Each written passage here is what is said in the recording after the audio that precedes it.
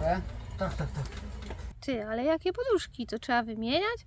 Było lepiej, a tutaj z tej strony to w ogóle jakaś masakra tutaj. A ty umiesz się komputerem obsługiwać? Nie. O, spróbuję tutaj na jednej pokazać. Nie wprowadzę tego. To to nie wejdzie? Nie. Pcham do przodu. Pszam do przodu. Pam do prydu. Fa. Pcham. Pcham do przodu. Pcham do przodu. Nie. No. Po raz kolejny przyjechaliśmy do naszego ulubionego warsztatu, a tutaj do naszego mechanika, który w swoim profesjonalnym warsztacie robi nam e, różne cuda. E, I to naprawdę każdy, kto ma samochód, to wie, że dobry mechanik jest co najmniej tak samo ważny jak e, dobra księgowa i dobry dentysta. Jeszcze? Tak, tak, tak. No teraz będę się zabierał do cybantów. Okej.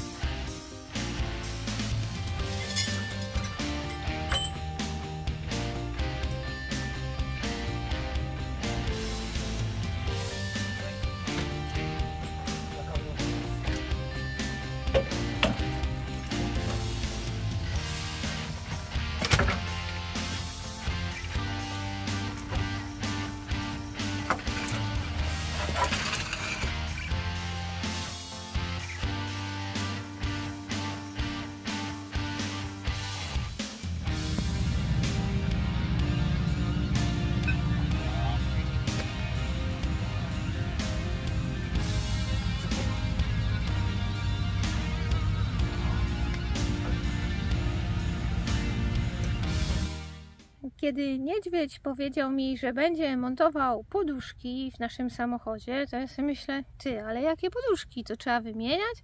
Przecież mamy poduszki te takie, wiecie, co się otwierają e, w razie wypadku. To nie bardzo mogłam zrozumieć, ale to o takie poduszki, słuchajcie, chodzi. E, to jest e, poduszka. No, e, pewnie panowie wiedzą, a panie, tak jak ja, się zdziwią, co to za poduszki i e, gdzie się je montuje. E, otóż te poduszki, moi drodzy, napompowuje się powietrzem.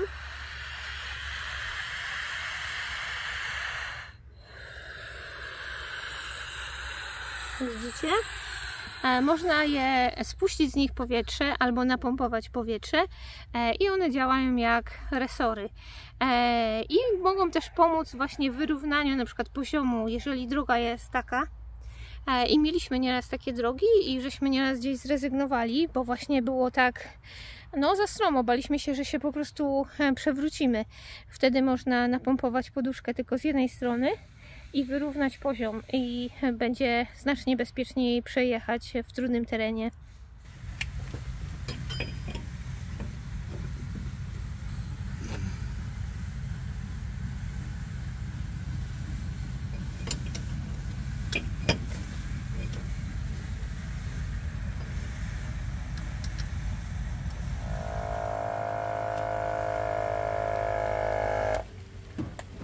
Poszedł w ogóle do góry. Nic nie widać, nic, musisz pompować. A czy on co ustawia sobie?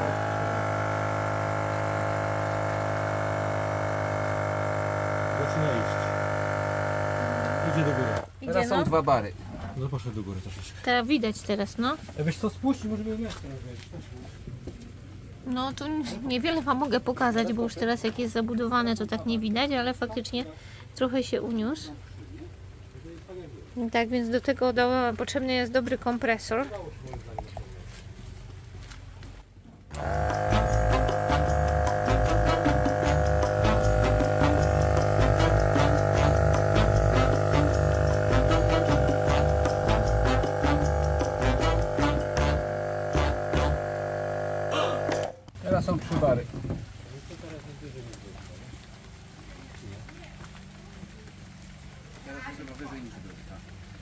Wyżej troszeczkę.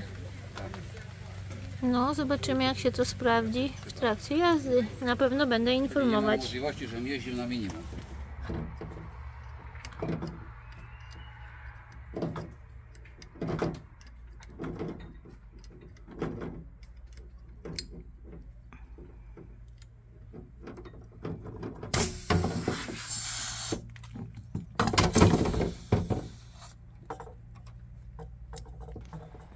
A ty umiesz się komputerem obsługiwać? Nie. Pilot, remove instrument panel without tachometer mode connector from A to B. Which is fucking what? Remove instrument panel without move connector from position A to B or B to A. No i okazuje się, że jedna z tych nowych poduszek e, przepuszcza powietrze i schodzi, tu widzimy ciśnienie. E, I to jest ta, tutaj e, po tej stronie. I już żeśmy dzwonili tam do producenta. Sama poduszka jest dobra, bo żeśmy właśnie posprawdzali co gdzie przepuszcza i tam przepuszcza na zaworze, tak? Tak. Na zaworze.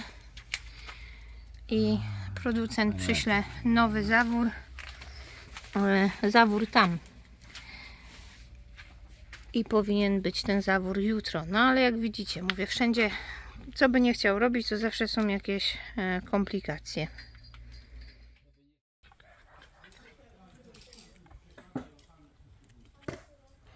Kolejną rzeczą do zrobienia, właściwie poprawienia, to jest intercooler. Sam intercooler jest ok, tylko e, te rury doprowadzające niestety nie są, nie były dobrze zrobione i potem mieliśmy problem, one się ciągle rozłączały i musimy to po prostu poprawić. Z tamtej strony było lepiej, a tutaj z tej strony to w ogóle jakaś masakra. Tutaj już są wszystkie te rury powyciągane.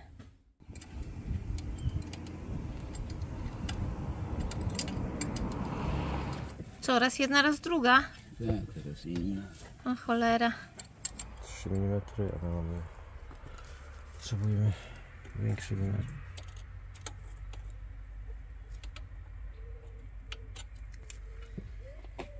Potrzebujemy 67.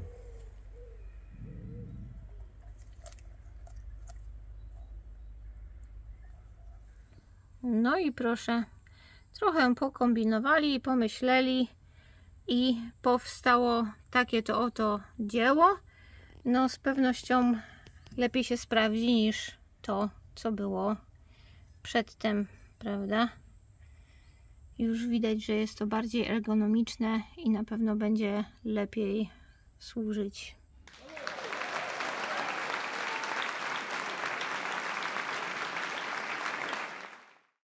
Nie wiem, czy pamiętacie naszą historię z felgą. E, To było w Hiszpanii, jak żeśmy jechali do Afryki na samym początku wyprawy. W Hiszpanii jedna felga okazała się felerna. The ring, man. Oh fuck. No posible repair for me. Słuchajcie, historia z felgami. E, tak więc opowiem Wam e, krótką opowieść o felgach. E, kupiliśmy te felgi przed ostatnią wyprawą, tak sobie niedźwiedź zamarzył. E, zamarzył sobie jakieś tam opony i trzeba było do tego wymienić felgi. A że jeszcze koła zapasowe, no to 6 sztuk, więc wiecie, no wydatek nie mały, Mm, no ale cieszył się, cieszył. Cieszył się jednak nie za długo, e, bo okazało się, że zanim żeśmy z Europy wyjechali, to już po prostu była przygoda. No i w Hiszpanii, słuchajcie, jedna zeszło z jednej opony powietrze. No i żeśmy myśleli, że przebiliśmy, chociaż to dziwne takie, bo te nasze felgi są bezdętkowe, czyli teoretycznie nie do przebicia. No ale cóż, e, powietrze schodzi, trzeba jechać. Pojechaliśmy do wulkanizatora, on pooglądał i mówi, ale to nie jest opona, opona jest ok, e, to jest felga. No ale jak to felga? On mówi, tu dziura jest w feldze. No i to takie dziwne, bo ja w życiu czegoś takiego nie słyszałam. Niedźwiedź też potwierdził, że generalnie felgi, no to jakoś trudno, no chyba, że tam na coś byś najechał i jakąś ją uszkodził, ale tego w ogóle nie było widać z zewnątrz i na nic żeśmy nie najechali jakiegoś takiego strasznego. I okazało się, że tam było takie mikropęknięcie. No i pokierowano nas do takiego zakładu, gdzie tą felgę pospawano. Ale wiecie, nowe felgi tak naprawdę powinny być na gwarancji. No ale tak jakby trudno jest z, z czymś takim, bo jakby co teraz zrobić, nie? My już jesteśmy, e, wiecie, parę tysięcy kilometrów od Polski i teraz co tą felgę wysyłać, czekać, wiecie, na nową, nie wiadomo. No więc niedźwiedź machnął ręką, mówi, dobra, tam dobra, mamy dwa zapasowe, to się tutaj pospawali, to będzie, to będzie na zapasówkę, pojedziemy dalej. Pojechaliśmy dalej i okazało się, że później szlak trafił drugą felgę i potem trzecią felgę i generalnie, wiecie, wszędzie był ten sam problem, że po prostu one gdzieś tam na tych zgięciach, takie właśnie mikrourazy, takie pęknięcia mm, się tam pojawiają i e, wpuszczają powietrze do środka. E, No więc trochę mały wyk. mm, mm. O, spróbuję tutaj na jednej pokazać. Tutaj zobaczcie to pęknięcie. I to już było pospawane i z powrotem tam pęka. I tutaj zaczyna pękać w drugim miejscu. Tu może być teraz nie widać, ale tutaj jest taka ryska. Tak więc, no, za słaby materiał. No ale tak jak mówię, e, jesteś daleko od Polski i, i co z tym zrobisz? Ja to nawet chciałam dzwonić do tego, mm, do tego e, sprzedawcy czy tam producenta, się pytać co z tym zrobić, może jakieś wiecie pieniądze, jakieś nie wiem tam. E, No ale niedźwiedź to taki bardziej jest jakiś nie, no co ty, co ty zrobisz i w ogóle. Ale jak żeśmy przyjechali tutaj e, do Polski i niedźwiedź mi mówi, że będzie kupował nowe, to ja mówię nie, nie, nie, trzeba zadzwonić. I słuchajcie, właśnie jakby ktoś miał jakieś takie różne sytuacje z różnym sprzętem, no trzeba dzwonić, słuchajcie. Zadzwoniłam, nie z jakimś wielkim, wiecie, mm, właśnie na, nie krzyczałam na tego osoby, nie z jakimiś fochami i pretensjami, tylko po prostu wyjaśniłam, jak sytuacja wygląda, dlaczego dzwonimy dopiero teraz, bo nas nie było. I trafiłam na takiego fajnego człowieka, tak wyrozumiałego, naprawdę stanął na wysokości zadania, od razu zaoferował, że wymieni nam te felgi wadliwe na nowe. E, Co więcej, nie musieliśmy mu tych felg wysyłać, czyli on na podstawie rozmowy i zdjęć e, od razu tą reklamację mm, zaakceptował i e, wysyła po prostu nowe felgi. E, natychmiast w ten sam dzień wysyła kurierem, czyli wczoraj rozmawialiśmy i dzisiaj po prostu ma ten kurier te nowe felgi e, przywieźć, e, a te stare właśnie też te jakieś wadliwe e, mu odsyłamy i on to odeśle do producenta. Tak więc bierze nawet na siebie to ryzyko, że producent może coś tam nie przyjąć tej reklamacji, tak? Ale on chce zachować dobre jakby imię tego jego sklepu. Tak więc polecam, jakby ktoś chciał felgi czy opony, bo wiecie, taki sprzedawca, który po prostu em, w takich trudnych sytuacjach, prawda, dobrze się zachowuje, to jest na wagę złota. Tak więc w końcu no miała być puenta i się zapowietrzyłam. No chodziło mi o to, że wszystko dobrze, e, co się dobrze kończy.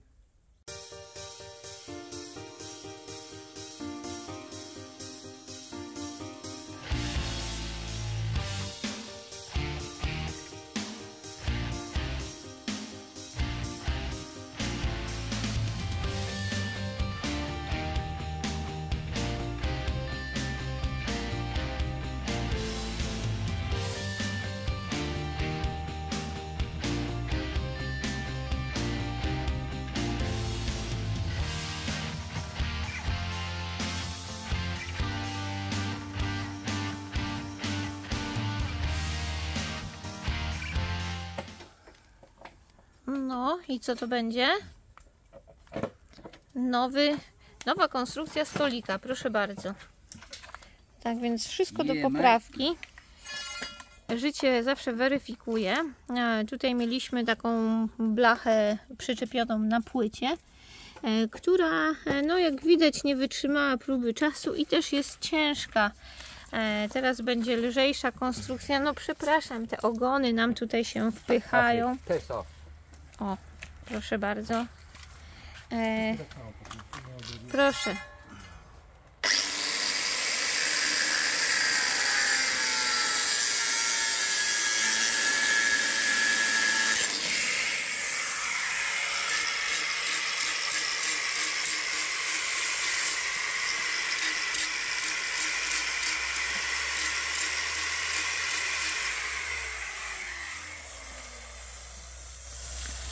Pełen profesjonalizm. Tak.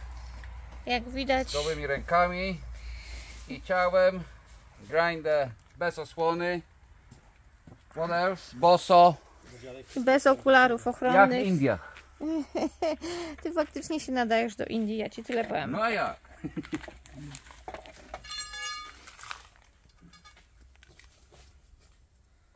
Ważne, żeby było zrobione dobrze, a nie jak. No, czasem jak też ma znaczenie. Tutaj proszę bardzo, właśnie ciągle dyskutujemy. O, Ja nawet, mam takich dużo i wszystkie rozbiłem. Ty no to mi jedyny. nie rozbij, bo to moje jedyne lusterko jest. Nie, bo Ty kupisz nowe, maj. Nie, bo to moje ulubione. Nie Ty stać, kupisz. nie stać mnie na lusterko. tutaj. Dobra, To cię nie stać. Do kogo ma być stać? No, Dobra, idę teraz po klucz. napięty budżet. Typu komputer. Wiesz co, coś się działo znowu już. No nie 4000 mil over. Ile? To nie 4000 dużo. mil. Dużo. Czy jest tutaj, wiesz, jest już wyślizgany, ale chodzi o to, Znaczy dlaczego... zęby, nie? nie, nie, dlaczego tu jest czarna pręga. No i? To jest, nie powinno tego być. Nie wiem właśnie. Może dotyka osłony. Mm, Nie widać na osłonie nic?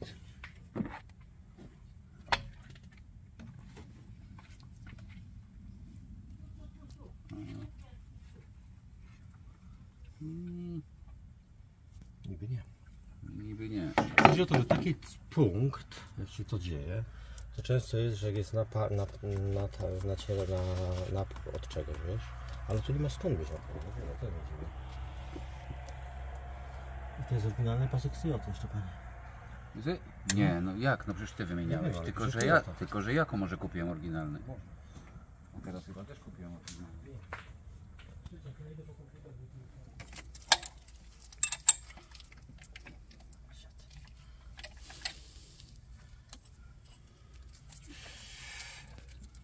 A miało nie być upało.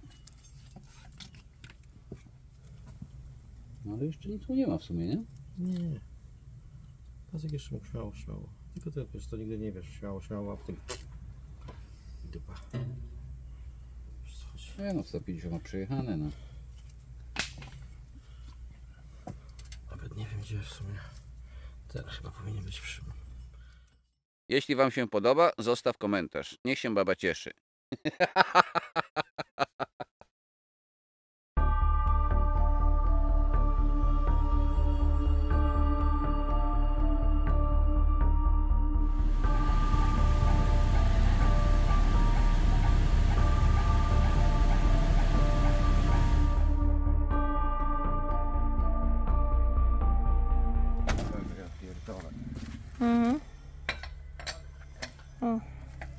I znowu koło trzeba ściągnąć.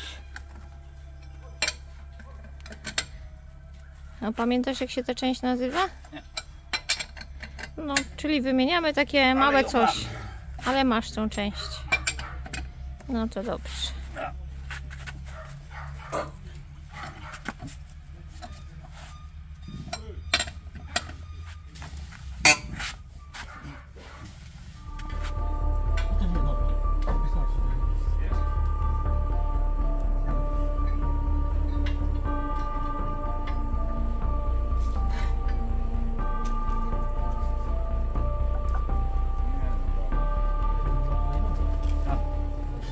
Ta część jest do wymiany.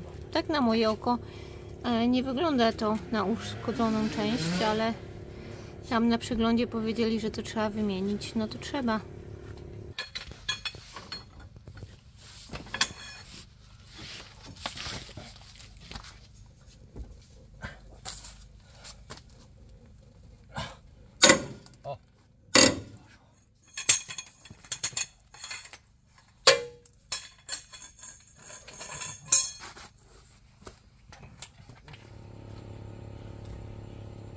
Ale czemu tak ciasno jest?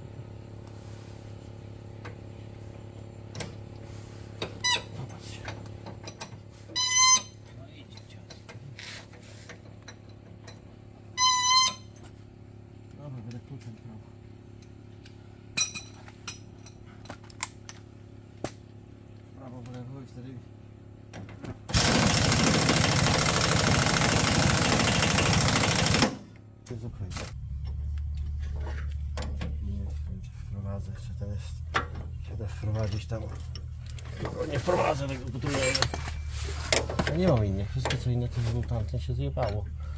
Nie wprowadzę tego. To to nie wejdzie? Nie. Było jeździć gdzieś szukać. No tak jak mówię, ja teraz nie mam tutaj tak znajomych jak dawniej, żeby pojechać. Zresztą nikt nic nie chce teraz dać. Dać pożyczyć to czy to. Musimy jechać gdzieś kupić, Inny czas. inne czasy. Mam się jechać do Waltera. Tak mam jechać, no jest koszy tam. Tego tego ściągasz, bo ja wprowadzę tego, a nie będę go ciął, odcinał łapy. To przetnij to. Grzesiek i tam. Czekaj, spróbuję jeszcze. Po drugie co mam? Nie, ten nie wchodzi. O, teraz mi się uda tu. Poczekaj. On tutaj się go naciska. Nie, on nie trzyma.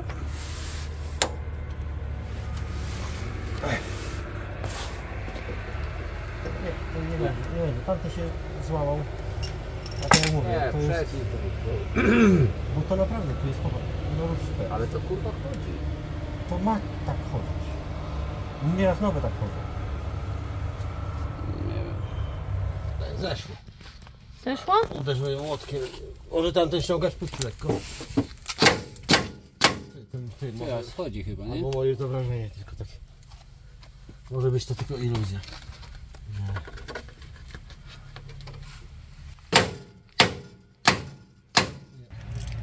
No i trzeba ciąć. Nie ma wyboru. No to i tak z tej części już nic nie ma, no to żadna strata. E, Tutaj ta część, głównie ten stożek e, była wadliwa i już tutaj dobrze właśnie nie trzymało, przez to mieliśmy bardzo duże luzy na kierownicy, co oczywiście no, jest ani wygodne, ani bezpieczne.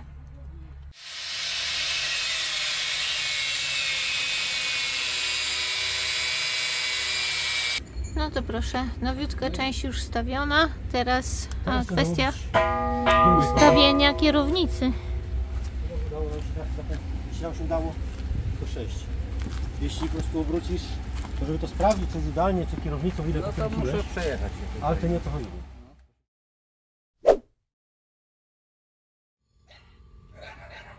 I jak mi niedźwiedź mówił, że będzie. Nic nie będzie, bo psy szczekają i nie będzie nagrania, no. No to już kurs młodego mechanika już przeszedłeś teraz, nie? Wiemy. Moles. Już coś tam potrafisz. Less than mo.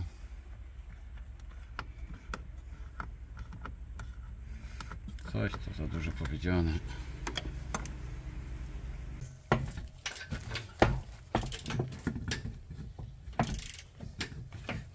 Kurwa zajebane okulary, ja pierdolę. Co się stało?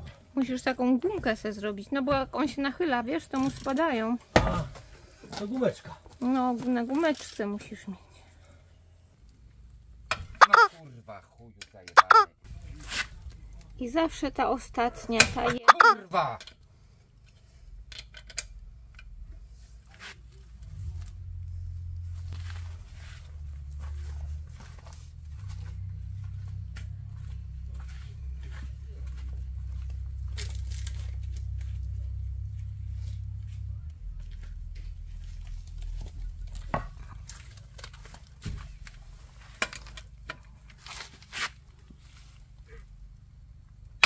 Kurwa ty.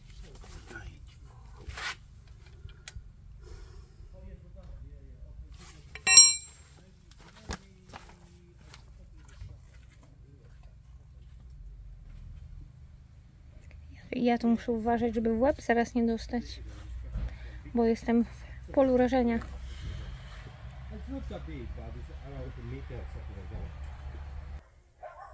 O, nie wiem od czego zacząć. E, od szczekania psów. No, zawsze jak ja zaczynam, to wtedy wszystkie psy w okolicy nagle robią wielkie szczekanie. Tak więc. No nie, muszę poczekać aż im przejdzie. Przeszło. Albo ktoś ich pogonił. Su. No nie będzie, no.